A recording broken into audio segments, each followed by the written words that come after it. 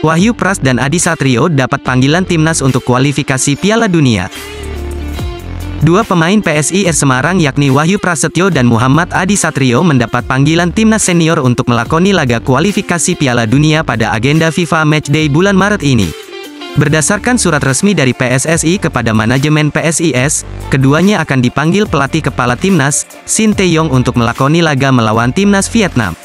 Pertandingan pertama antara Timnas Indonesia menghadapi Timnas Vietnam akan digelar di Stadion Utama Gelora Bung Karno, Senayan, Jakarta pada Kamis, tanggal 21 Maret tahun 2024. Sedangkan pertandingan selanjutnya antara kedua tim akan digelar di Vietnam pada Selasa, tanggal 26 Maret tahun 2024.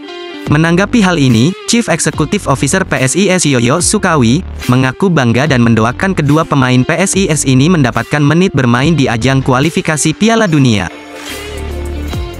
Alhamdulillah setelah sebelumnya cuma Hulk yang dipanggil timnas senior, kali ini Adi Satrio juga dipanggil ke timnas senior.